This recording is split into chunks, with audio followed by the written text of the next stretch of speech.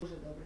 Коли ви на 4 поділите, значить нам треба яйце поділити отут. Добре.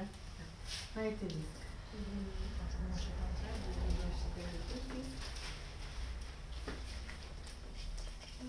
Це, це знаки, які для первісних людей означали певні. Е, е, це первісна молитва була про добробут, про е, м, е, родючість, про здоров'я. Були дубові листочки на писанках. І, власне, люди писали на яйцях для того, якби символічними знаками висловлювали свої. Знаєте, ми були здивовані, тому що два роки підряд ми нормально не могли проводити писанкарство, ці е, навчання, тому що був ковід.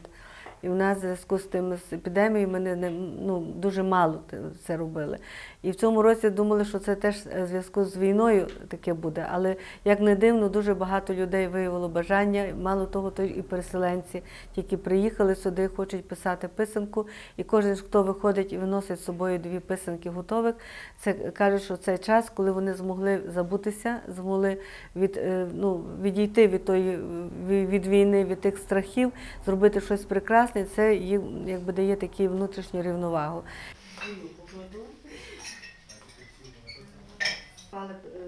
І писали по тим.